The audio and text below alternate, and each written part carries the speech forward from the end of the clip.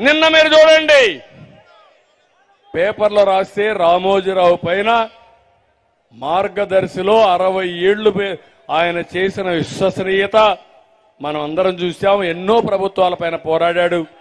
Telugu Desam party పరులు ఎన్నోసార్లు విమర్శలు చేస్తూనే ఉన్నాడు.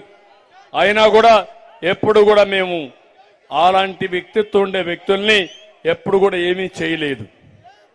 కానీ ఈరోజు ఏం జరిగింది?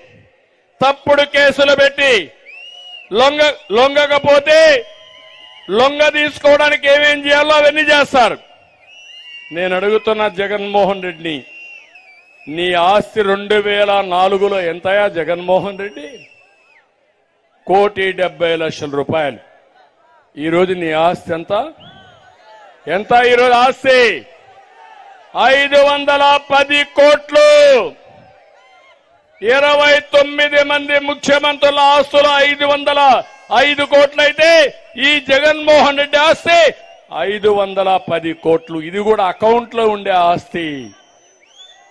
ప్యాలెస్లు దొంగ డబ్బులు హవాలా డబ్బులు షెల్ కంపెనీలు రోజు రోజుకు వచ్చే డబ్బులు ఎక్కడ దాచిపెట్టుకుంటాడో నేను ఒకటే చెప్పా. ఇడుపల పాయలు ఏమైనా అండర్ గ్రౌండ్ అంతావా? తువ్వి. ఈ ప్యాలెస్ల కింద అండర్ గ్రౌండ్లో దాచిపెట్టడం చూడాల. ఏంటి అరాచకాలు జరుగుతున్నాయి? పరిస్థితికి వచ్చింది. నేను అందుకే మిమ్మల్ని అందరిని అడుగుతున్నా. ధనిక సీఎం ధనవంతుడు ఒక్క జగన్మోహన్ రెడ్డి రాష్ట్రంలో. మనమందరం పేదవాళ్ళుగానే ఉండాలి ఇక్కడ ఉండే వాళ్ళందరూ పేదవాళ్ళుగానే ఉండాల?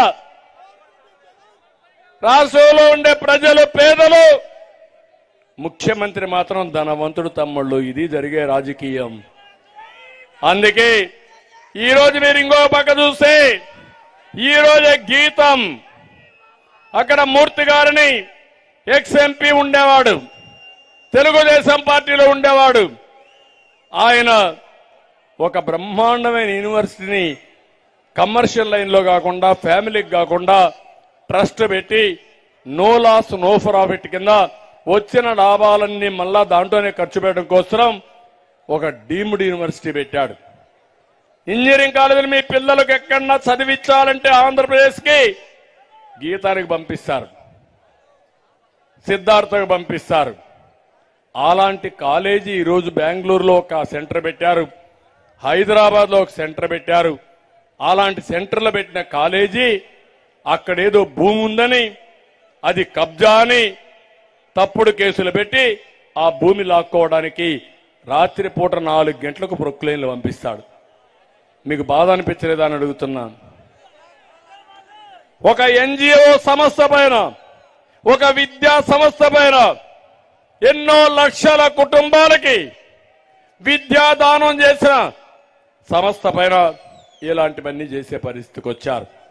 అందుకని దీనికి ఒకటే మార్గం వాళ్ళు కూడా నమ్మిన సిద్ధాంతం కోసం పోరాడుతున్నారు.